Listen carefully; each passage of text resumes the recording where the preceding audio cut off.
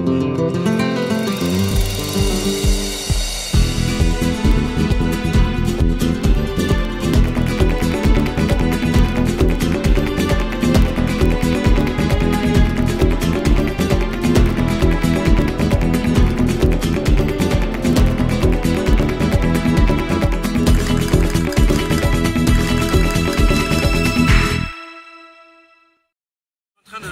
disposer du, du caviar pressé. Alors, le caviar pressé, c'est comme ceci.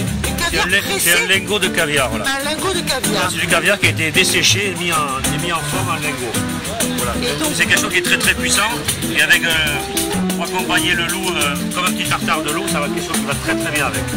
Et à côté, vous avez une petite déclinaison avec une brochette de saumon fumé et un tartare de saumon fumé avec.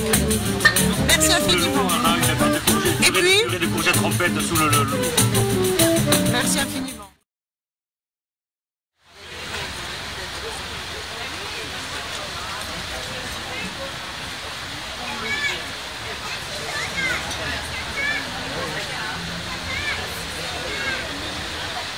Parlez-moi de ces perles de Monte Carlo. Monaco, elles sont à Monaco.